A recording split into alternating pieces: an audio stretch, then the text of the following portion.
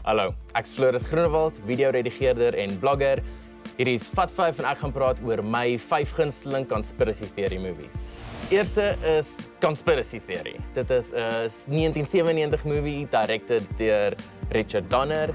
Mel Gibson is 'n taxi-bestuurder wat glo in allerlei government conspiracies en dan word hy ingetrek deur een as die NSA-agente hom begin jaag. Nommer 2 is The World's End. Dis 'n Britse pub crawl movie van ouens wat teruggaan na hulle tuisdorp toe en 'n pub crawl gaan doen, maar dan besef hulle alles is bietjie te perfek en iets is nie lekker nie.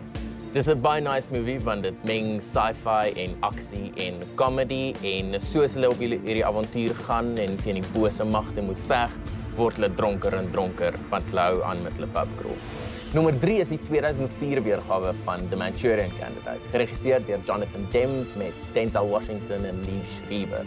Dit gaan oor soldate wat na die oorlog begin twyfel of die dinge wat hulle onthou regtig gebeur het. Dis bietjie meer van 'n politieke thriller as dit jou kopie tee is.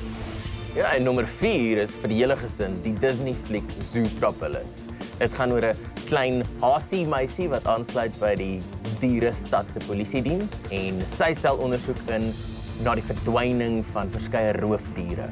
Dis 'n baie oulike en toeganklike fliek en die ideale ding as jy van vroeg af jou kinders aan conspiracy theories wil blootstel. Nommer 5 is Enemy of the State, 'n 1998 fliek deur Tony Scott. Will Smith speel 'n prokureur wat per ongeluk betrek word by die cover-up van 'n belangrike moord op 'n politikus wanneer die evidence op hom geplant word sonder dat hy daarvan weet. Dit was hierdie week se Vat 5.